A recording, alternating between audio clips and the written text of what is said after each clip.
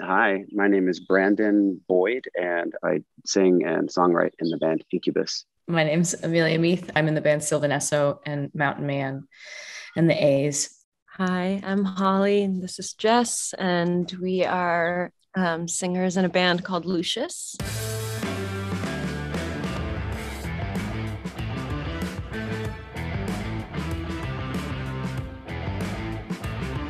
My name is Ken Scott.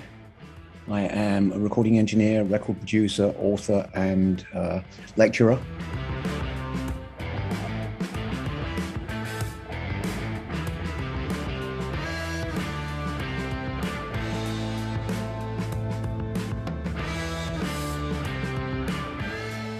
Wow, David Bowie has had uh, an indelible effect on me and all of the guys in my band. Um, we all were born in um, the mid 70s. So I was born in 1976. So to say that he has been a big part of my life would be a pretty massive understatement. Um, I remember the first time I heard David Bowie, the first handful of times, I was probably too young to understand fully what was happening, but I remember first being like cognizant of his music. And um, I remember it confusing me a little bit. And as I got a little bit older, I've come to understand that that's a wonderful thing to be perplexed by art that someone is making. And then it sort of draws you in and you kind of have a desire to understand more deeply um, where they're coming from. So I guess that's a good mm. place to start. I think I first heard this is going to be embarrassing and it's going to show my age, but I think I I was listening to the Clueless soundtrack in the car, which had a cover of all the young dudes on it. I think, or maybe it was that song. And I remember it was like the prompt for my dad to show me Bowie for the very first time. So we went to the Strawberries in Cambridge, Massachusetts, and got Ziggy Stardust and a couple of other records. And that was like when my full introduction to Bowie began on a ride from Boston to New Hampshire.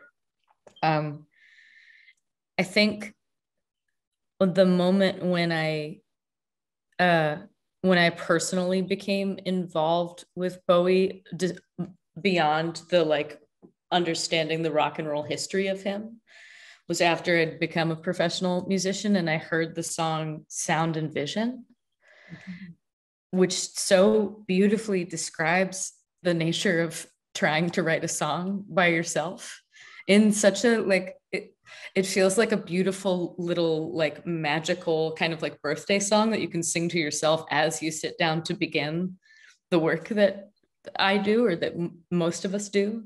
Um, and it kind of it became like a little songwriting candle for me. For me, I have always been a huge Bowie fan. I, this is also going to show my age, but for my introduction to Bowie was I was the baby of the mid 80s. And um, my sister, my older sister, was obsessed with Labyrinth.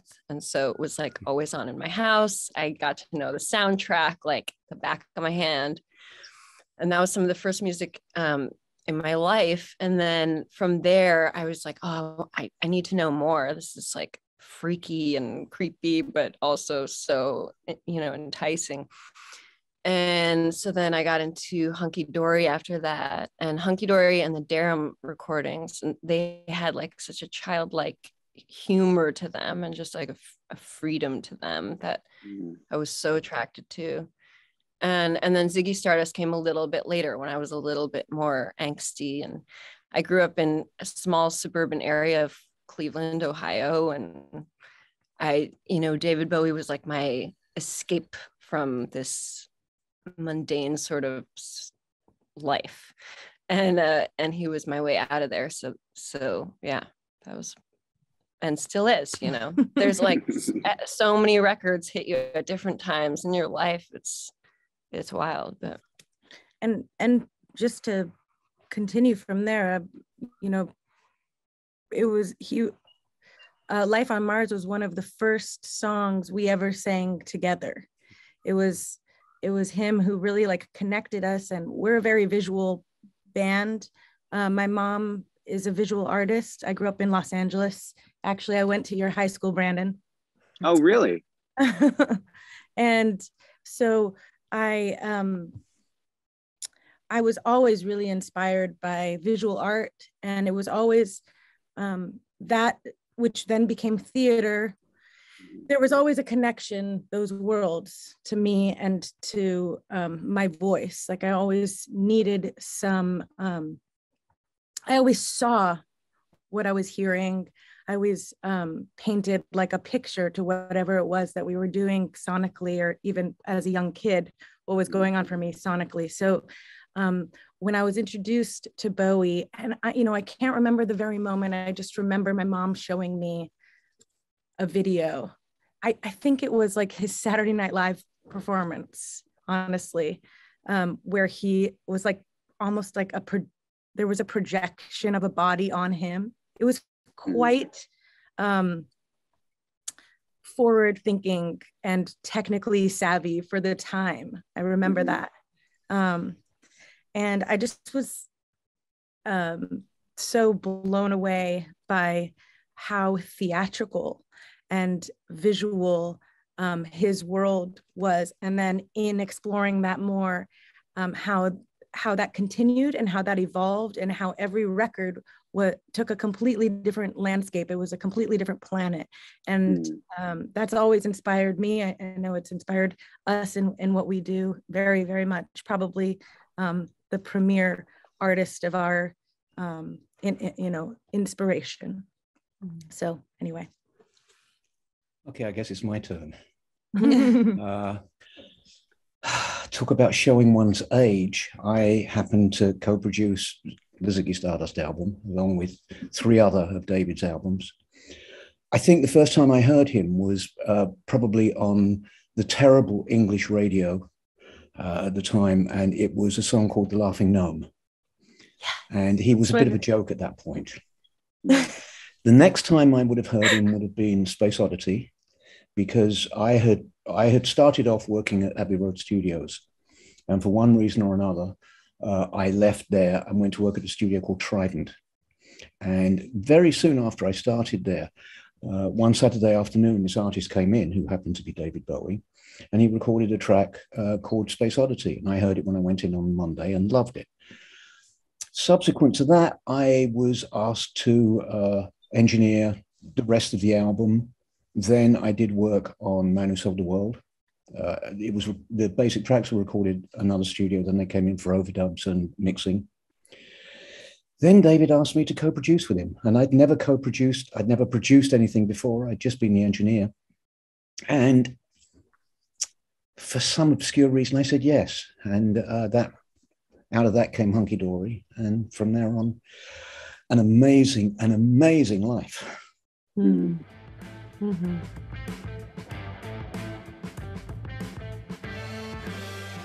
I guess because he's really created a world so distinct for every record. I was curious if he had a strong um, idea going into the record making process of what it would sound like and what it would look like, what kind of world he would be creating. Uh, I, I, yes, he did, uh, to a point one of the greatest things with, with David was his ability to put together a team that would give him exactly what he was after without having to tell them what to do. Mm-hmm. Uh, on on Hunky Dory, Ziggy, and Aladdin Sane, the, the only change within the team was on the first on Hunky Dory. It was Rick Wakeman playing piano because it needed to be more classically oriented. The next one, Ziggy, was uh, more rock and roll, so it, it was uh, they, just David or Ronno would play piano. And then, then he picked up Mike Garson during the American tour and got, and he brought out a whole other side with the avant-garde piano and everything. But I remember with, with Garson, he, when we came to the Aladdin Sane solo, he started off, he playing, he was playing quite straight. And David said, no, play what you would normally play. He did it again and he was playing fairly straight. And David said, No, play what you would normally play. And he said, Are you serious? He said, Yes, go with it. And what he played that one time is, is the solo. And it was just, mm-hmm. it blew us all away. That was exactly what David wanted. It worked perfectly.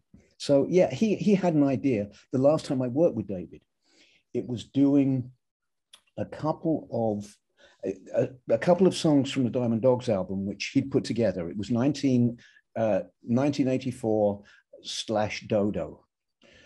And it was one of the few mixes that David came along to. And all the time we were trying to mix it, he kept on putting on albums and it, they all had the Philadelphia sound, like from Barry White to all of those kind of things. And he kept on saying, I want it to sound like that. I want it to sound like that. And of course, it never did because we worked with the English musicians. I was mm-hmm. English. It was never going to sound the way those did. He finished up going over to America and uh, putting the team together, which gave him Young Americans. And he got exactly what he wanted at that point. Mm-hmm. So, yeah, he knew what he wanted. He mm-hmm. didn't always know how to get there. Mm-hmm. Did um because Hunky Dory and um Ziggy Stardust were kind of written, recorded almost on on top of each other, right? like. Mm-hmm. And some of the songs, like "It Ain't Easy" and "Lady Stardust," to me sound kind of hunky dory esque. Eh, were, were there crossover songs, or were like how did you pick which songs go on which record? Well, "It Ain't Easy" was originally recorded for Hunky Dory, Oh, okay. And we just didn't use it. We had too much material, so it was put to one side, and we just, just decided to use it for Ziggy. Uh, I always think that, like people say, how, the, the big difference between Hunky Dory and Ziggy Stardust, I always just bring up, uh, of course, I immediately, Queen Bitch. That's it, oh, yeah. which is so, that would have fitted in with, with Ziggy perfectly. It was much yeah. heavier.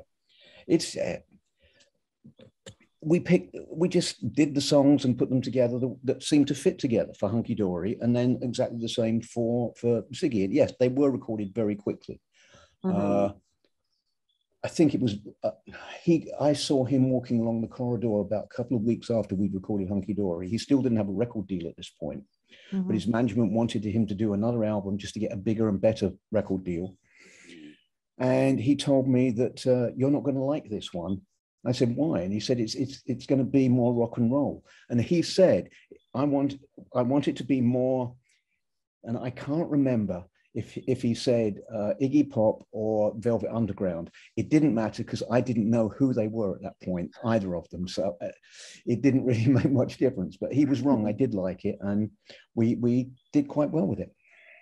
We all liked it. yeah. I'm racking my brain uh, I have so many questions running around in my head, but there's something that's kind of rising to the fore, and I I hope it's not too personal, and and please be honest if it is too personal. But I'm so curious about um, artists in general and how artists work and our, the process of making music and making art has always been something that I've been deeply enamored by and it's why I keep kind of like chasing the rabbit, so to speak, because I I love the feeling of magic that kind of overtakes an entire room when you get into that flow state.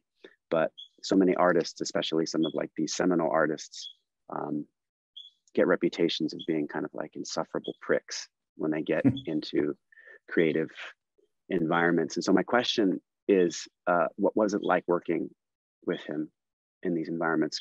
I know in the environments that we've created around Incubus and in my solo stuff, it's it's like 98% joy.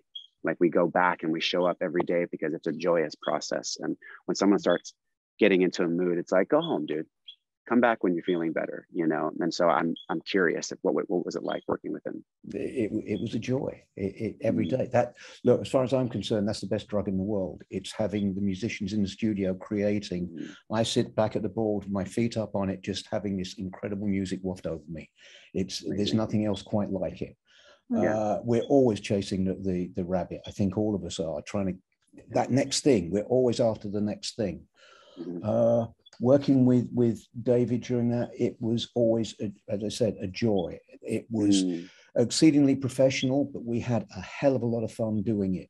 And mm. re- remember, we were together for very short periods of time in the studio because back then, artists had to come up with an album, one album every six months. So mm-hmm. we, we took two weeks to record Hunky Dory. We took two weeks plus two days to do Space uh, to do uh, Starman uh, for, for Ziggy Stardust. And then it was two weeks recording, then I'd mix. And uh, on, on all of them, it was basically the same. Uh, so yeah. it, it was all quick. Yes, there would be the occasional touchy moment, but they were so few and far between and over with very, very quickly. It's going to happen. Of course it is. Yeah. Uh, and no, it, it was it was astounding. Mm, I love hearing that. Thank you so much. Okay. One, one other thing, he got bored in the studio. Hence, that's why he didn't come along to mixes because keep on hearing the same thing time and time again would have driven him crazy. And everyone in the studio knew that they had to get the take very quickly. Otherwise, he'd just say, It's not working. Let's move on to something else. Mm, So everyone else was on edge. He and probably myself were the only ones that weren't on edge. I relate to that. Me too. Um, Ken, when first of all, it's really lovely to just get to ask you questions. Thank you so it's- much for giving us this time. My pleasure. Mhm. I love doing it. I give lectures around the world now, and some of them just about David. And it, it's the, the best part for me is always the Q and A at the end because it's I get asked questions that I have I wouldn't even have thought of. So it, it's Mm. having to come up with the answers. I love it. Awesome. Um, I'm I'm curious about the track listing of this album. When you were recording it, were you talking about the track listing? Was that something that you were involved in as a co-producer, or was was that like something that was just determined by labels at that time? The processes have changed so much from then to now that labels had nothing whatsoever to do with any of the records we made, except for one thing, and that was when we handed in Ziggy, uh, in where Starman finished up, we'd done a cover of Chuck Berry's Round and Round, so we gave that to RCA. They came back saying they didn't hear a single. We, they needed a single, so we went back into the studio. Two days, recorded Starman, and put it in place of Round and Round. That was the only time the record company said anything about the records. Mm. So that, that they had nothing. To, it was so great. I didn't start having uh, A&R guys and record companies involved until the mid 80s. That's when they really started to come in and push their weight around a little. Ruin things. Yeah. Uh, so with regard to the running order, I have been asked about it before, and I honestly can't remember. I know that at that time, both before that, as just as the engineer and moving into the engineering production side of things, because we we had to have fairly equal uh, number of minutes on each side of the album, and really you didn't want it to go over max like 22 minutes if you wanted it loud. I would constantly be sitting there as we were recording something. I'd have all the times of the tracks, and I'd be going through. Well, these ones would work together, and these these would give an equal time, and where, what we could swap, and all of that kind of thing. Hmm. How we finished up with the final running order, I honestly can't remember. I do know that the, the one thing that I was very dictatorial about, if, if for want of a better way of describing it, was was the timing within the tracks. When I first started at uh, Abbey Road, when it was EMI Recording Studios, one of the things that we had to do was we'd be getting albums in from the States. And we would have to put exactly five seconds between each track. Hmm. And that drove me nuts because sometimes you want something to come in, it feels as if it should come in quicker. Sometimes it needs a long break just to ah, come down. So I was very specific when when it came to uh, the running order. I tried to keep everything in tempo. Mm. So even if it even if it's a different tempo, your foot still comes down on the downbeat Mm. into the next song, Mm. and that that worked for that. That I know I take full credit for that. As far as the run, as far as the running order, I we must have been talking about it, but I have no. I, it's fifty years ago. I really don't have a recollection of how it all came together. Mhm. Mhm. Is five seconds? That feels like an eternity. I know It's it's too long. ridiculous. Yeah. It was two and a half times the width of the tape machine. That must Oh. have been Leader. has something to do with the way that uh, the space between grooves on vinyl, right?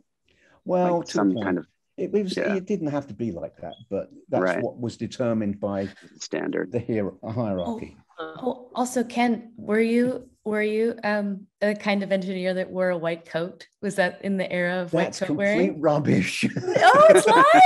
no, look. Okay, I've never heard that. The, the- the- the way it went, we had uh, a, one group that was there were I, ca- I call them the, the studio roadies. They were they were there to set up large orchestras to s- help drummers bring in their kits and all of that. And they would wear brown lab coats. So they were the brown coats. Oh. The technical engineers, the, the electronic engineers, the whizzes, they would wear white coats because they were the ones that would put out all of the ca- dusty cables and all of that kind of thing because we weren't allowed to touch. We were we didn't set up sessions.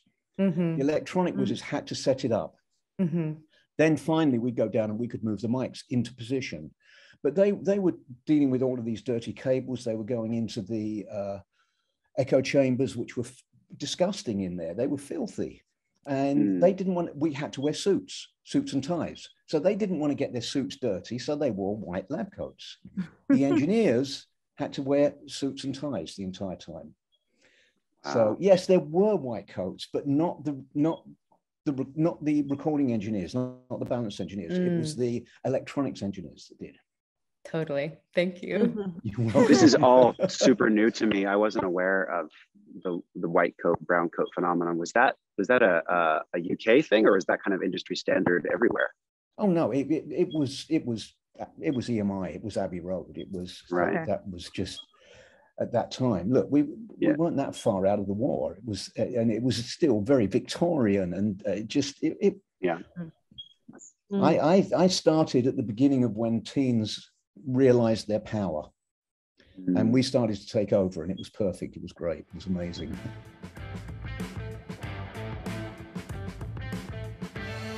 I'm I'm so fascinated by the I think maybe it's because I'm like a student of pop music, but also just a like a track listing nerd and the fact that so to me this album in some ways there every song is very important but like it really starts to cook on the b side in this interesting way to me but the five years is like a harbinger of things to come. And basically the way it like rolls out the red carpet to the record and is like guess what? Everything's in here. Yeah. and and like you have you you're like for me re-listening to, to it today which like so much of this record is like like it's part of my blood so i like hear it. But honestly you know i downloaded it off napster. None of the titles have ever been a thing for me and like being able to like put all of the it was like listening to it in order again felt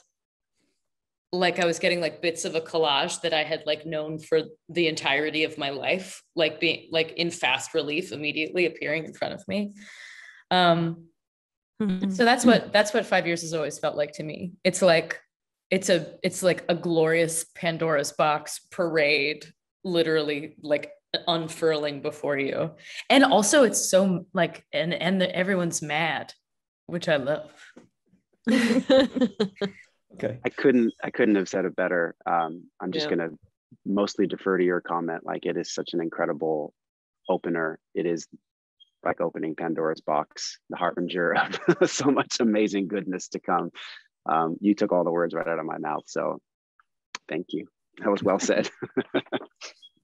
I guess my question would be like, what did it, because it crescendos, it's, yeah, it's exactly what you're saying. It just like builds and builds into this whole, what did that look like lot in the studio? I mean, was it everyone in with the strings and like how, how, No, did it- it, it, it was done a piece at a time. It, it was Mhm. that if I remember, well, I think it was uh, acoustic guitar, bass, and drums would have been laid down first. Then we Mhm. would have started uh, overdubs. Uh, orchestra going on almost last uh, with one of Ronno's amazing uh, arra- string arrangements, orchestra, orchestral arrangements.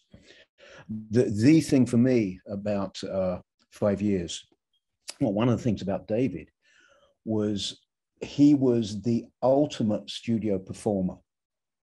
Mhm. Of the the four albums that I co-produced with him, 90% of the vocals were one take, beginning to end, the first take. Wow. I would roll the tape a little just to get the the sound and the, the level, go back, hit record. And what he did that one time through is what we still hear today. Wow. 95% of the tracks. Now on five years, by the time we got to the end, he had tears pouring down his face. He was so emotional about it, Mm. just crying like you wouldn't believe, and just sitting up there in the control room with, with that going on downstairs was just the greatest drug in the world. What can I Mm. say? Yeah, I had uh, it was amazing. I was hoping that you were going to touch on that around like the the performance Oh, aspect was- of of this work because so much of that has been kind of siphoned out of album making over the last 15 20 years or so as we've gotten you know further and further into the age of digital recording If I can just make two quick points. One, technology is great. The problem is us. We tend to we have to overuse everything. yeah Yeah. So we, Yeah. we could we could still record Ziggy in exactly the same way, just using 16 tracks of Pro Mm. Tools or whatever DAW you want to use. Mm, It, it's it's and the other thing, uh, going back to uh, to Amelia, the, the the whole thing of the, the streaming download. uh, it- Mm. it's I I don't like the fact that it's single tracks. mm, We I used know. to make albums to be a, a, a concept, not a concept album, but to be heard from beginning to end Mm, to take you to different places. And that, that's what it was all about back then. It wasn't about individual tracks. So Mm. when when you when people stream and it's just this track and then you'll hear a track from someone else and eventually you might hear another track from the album. To me, Mm. it ruins the entire thing. It- you should be able to listen to the album in its entirety, but that doesn't Mhm. happen very often now. So uh, Moonage Daydream was uh, another one of the, the great Mick Ronson arrangements, uh, orchestral arrangements. And one of the things that uh, I, I said earlier about David forming a team that would give him exactly what he wanted. A, a classic example is the uh, the guitar solo at the end of Moonage Daydream, where Ronno just goes off, and we Mm. we didn't even have to tell him what to do. It was just, okay, it's time to do the end. Okay, I'll go down. He went down and he did it. Boom, that was Mhm. it. Uh, that, that's that's the way it worked then. We we were almost in each other's heads, and we we Mhm. knew what had to happen, and that going back on something else, whether David knew what he wanted. There was the, the, the solo on Moonage Daydream, which is a baritone sax and a recorder playing Mhm. octaves apart.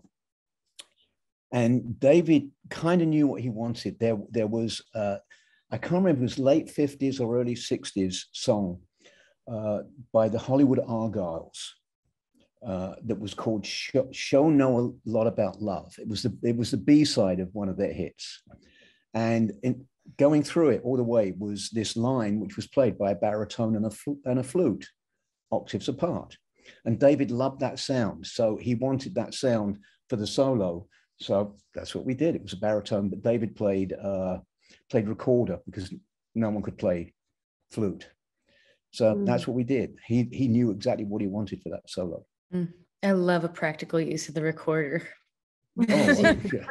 I, I seem to be drawn to that. I've done it. I've recorded it so many times. It's so much fun. It's also just the squeakiest little sound. It's one of my one of my absolute favorites. I I kept on being struck while I was listening to this record, and this is more of a comment on the song and the lyrics in general.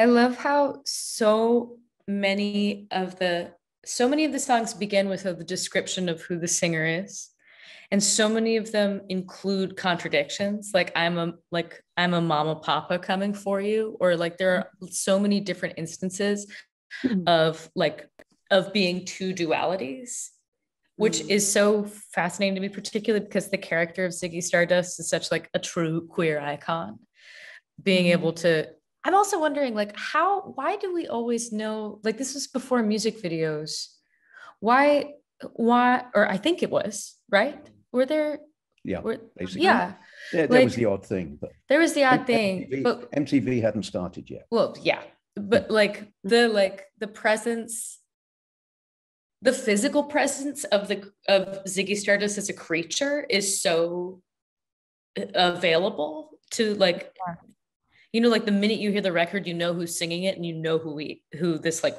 this person is which i'm so Mhm. amazed by in that like here's this very dramatic, wild record. And at the center of it is this like wild conductor that we're all so deeply familiar with, but actually you never really get to see him very often. You almost like the only know what it looks like. It's already just yeah. the sonic presentation and the way he's describing himself and even the way he bends his voice to like I don't know. I mean, he's creating a character. I was curious about that too, like how much of it was just this thing that was already imagined or if it was created as he was going, which I mean, both would be fascinating. I'm just, you know, curious. My my suspicion, because I don't know for sure, but my suspicion is it, it came about as we went along. Mm. Uh, David certainly didn't look like Ziggy when we were recording. It, it mm. started to, to, to come along. And it, it was, look, when, when David and I started Hunky Dory as co-producers, we had never done anything quite like it before. We'd never produced before. So we went into it with some trepidation. And as, as we made decisions and, and things started to come together, it was this is working, this is happening, it's great. And that gave us confidence to push the envelope a bit more. And that continued through through Ziggy, through Aladdin Sane. And one of, one of the great things about Bowie was his his courage, much the, much like the Beatles. It was I'm going to make the record I want to make. I don't care what anyone else says. And so mm-hmm. that that and not wanting it to be the same every time. Uh, and that that takes a tremendous amount of courage. If you have success too many times the artist management wants it record company wants it they want to re- recreate the same one that was a hit before. They want to mm. protect the success as opposed yes, to the artistry. Yes, mm. yes. which david no it was always to hell with it. I'm going to do what i want to do. And that's mm. why he that's why he's so amazing just how far he covered during during his his career Mm. And it, that that came across with Ziggy, especially pushing the boundary. It, it, I, it's funny because I don't see. The, the, I I know the effect that he had on people. I don't totally understand it. Like the, the way the top of the pops Starman broke him in, in England completely. That that was, and so many artists have said it completely changed my life. Mm. Now, the thing that's always brought up is him putting his arm around Ronno. Hmm. uh, he was a friend. You do sometimes put your arm around your mate. It's it's that kind of thing. But hmm. for, for whatever reason, it took on a whole other connotation, mm. which David would always he would push.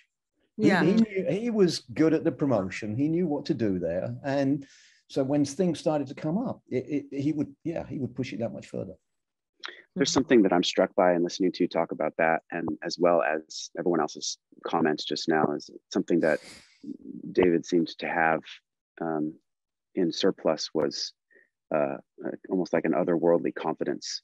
And I don't, I never knew him, unfortunately. I, I did see him perform a couple of times, but that was what struck me every time I saw him perform. Um, was he would walk onto stage and there was no question in his mind that he was exactly where he was supposed to be. And I have a sense that maybe he was like that for most of his like career.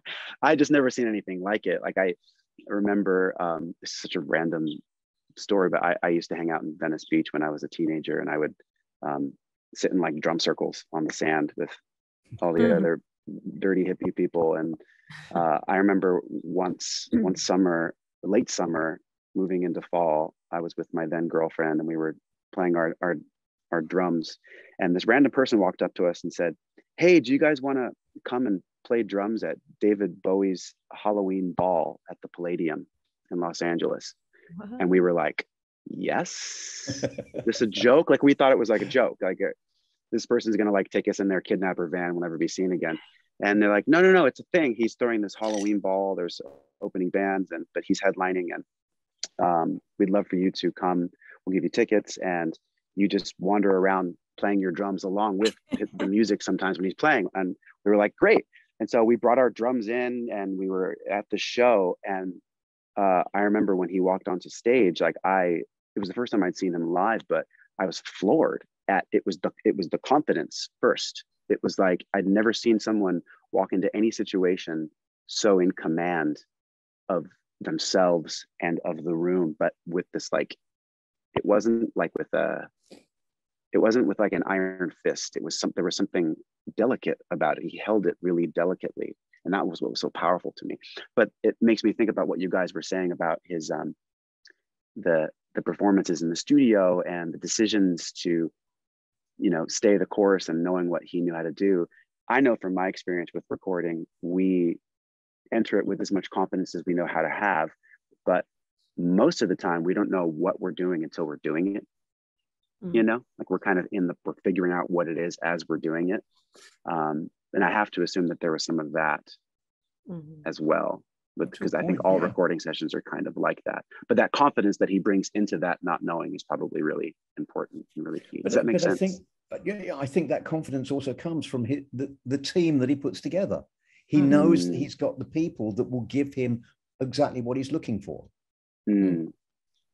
Yeah, I, I think not necessarily right at the beginning when we started Hunky Dory. As I said, we, we were both very nervous at that point, uh, just because mm-hmm. we hadn't done it before. But as soon as things started to come together, the confidence grew mm. and it continued from there. But between, I think, what what he had control over and how it was coming together and all of that, how amazing it was turning out, was was one of the things. And I, much as uh, I, I hate to say it, but the manager that he had at that time, uh, who shall remain nameless, I will not mm-hmm. use his name, who was, uh, in many respects, was the pits. He, he was mm.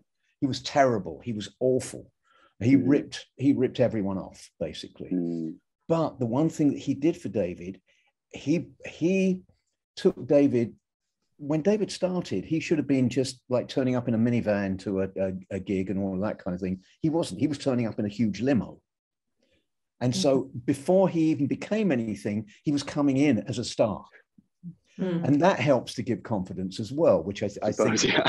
Started to pick up on. so there, there was yeah. a bunch of things I think that gave David that confidence, but obviously it had to come from within. But uh, yeah, yeah.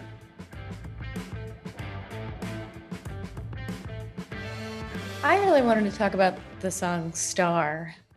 Um, mostly because it it feels it has that like um a, song a song with the in a song kind of idea in that like the thing that's being described is like what I imagine Bowie was reaching for, though you do say, Ken, that he was already like he was a star and was being presented as a star.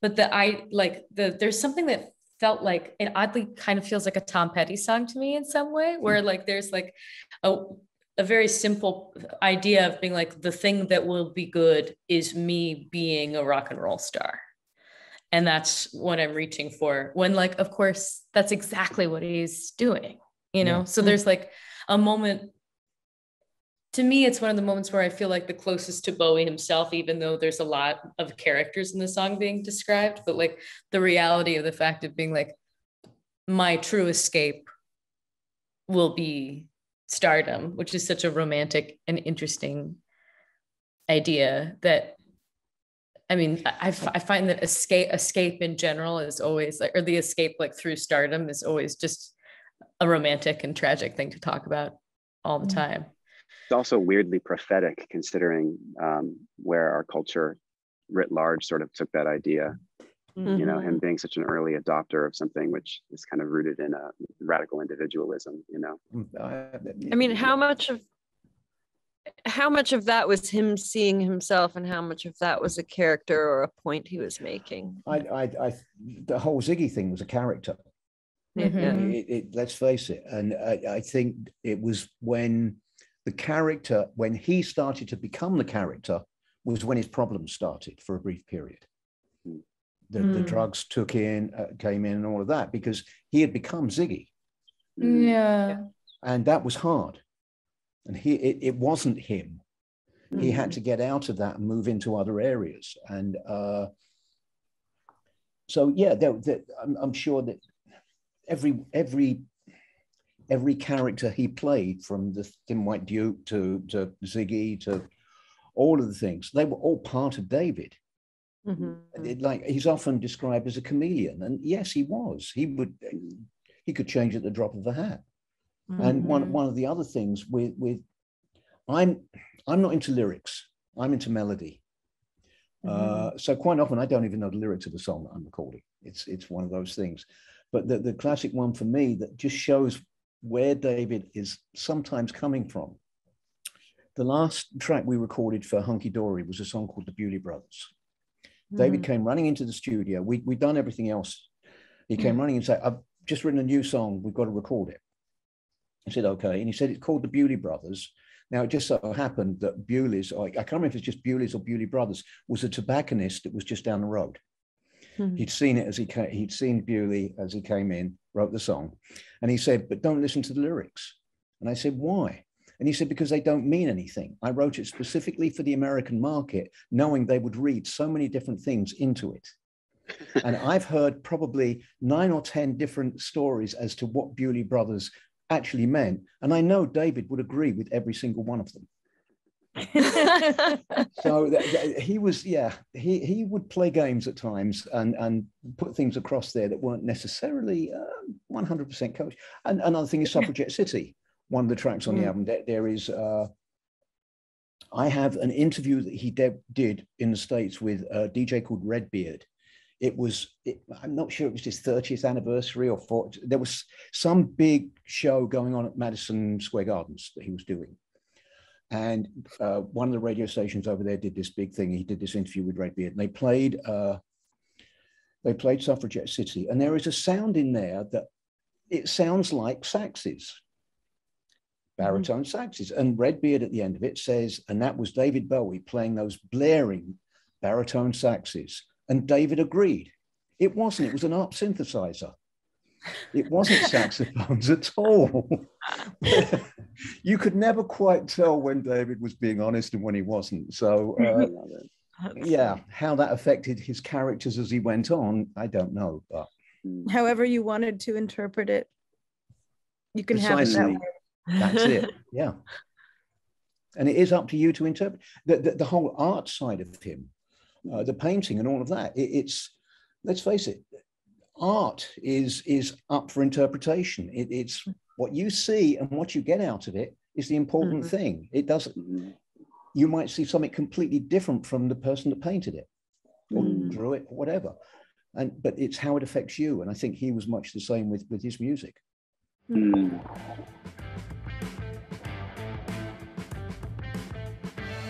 He was so dynamic. And he he you know just as he changed character he changed voice.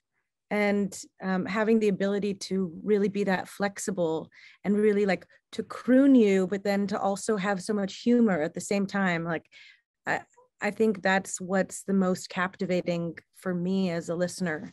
Um it never gets tired. You always know it's him but you never know what's going to come.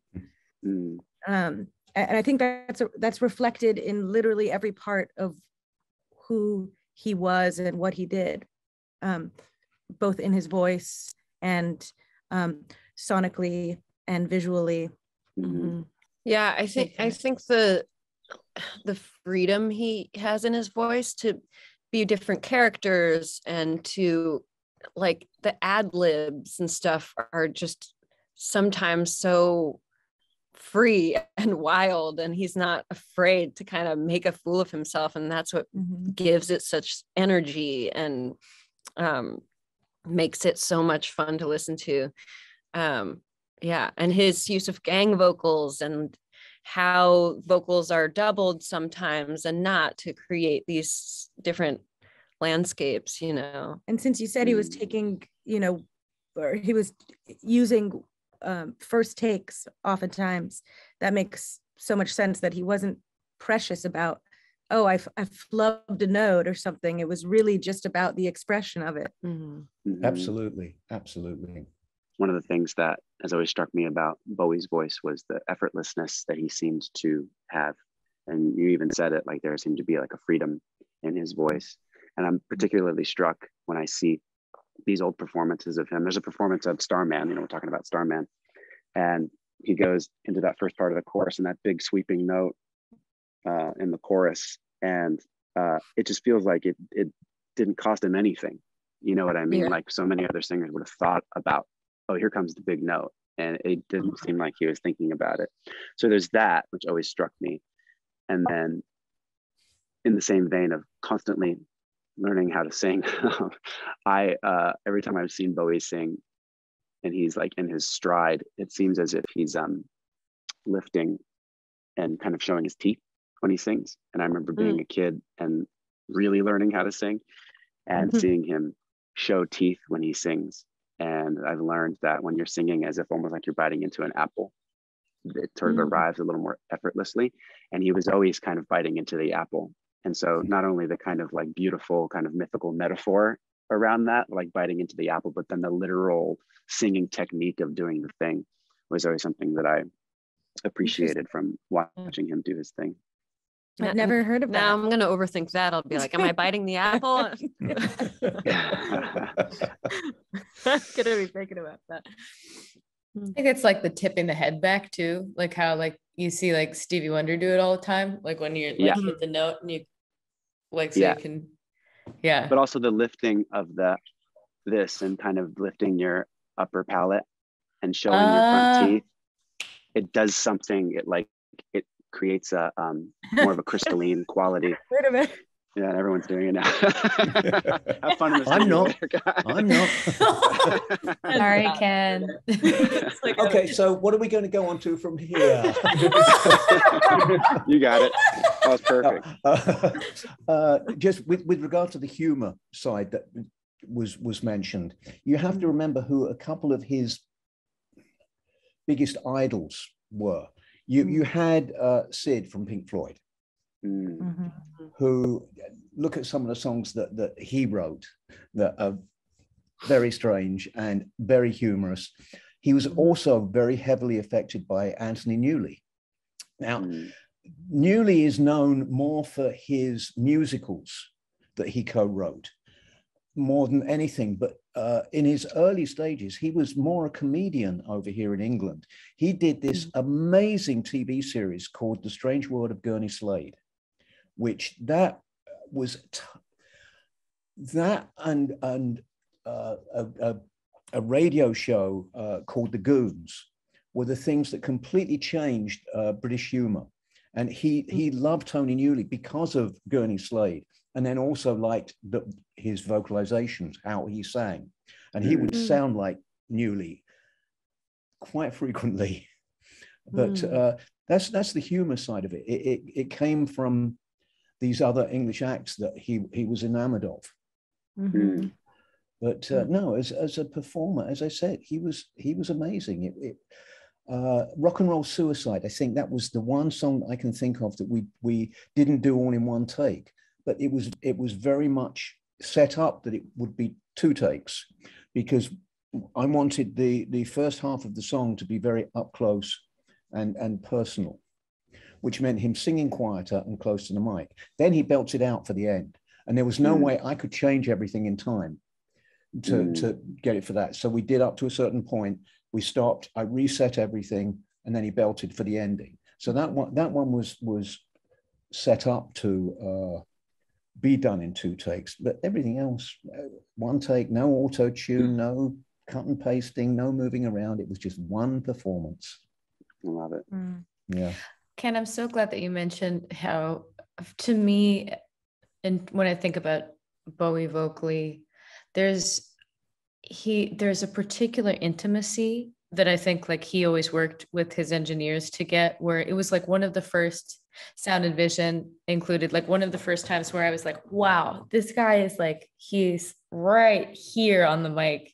And mm-hmm. there's a feeling of he's there's incredible generosity in it to me mm-hmm. where like it's it's true intimacy and that all of a sudden you're like you are he is with you mm-hmm. and in a way that is just inspiring to me i can't say about later albums i can say that uh basically on the ones that that i worked on that that was that was never considered when he was recording the albums. That's something that that occurred during the mixing, which he was never at.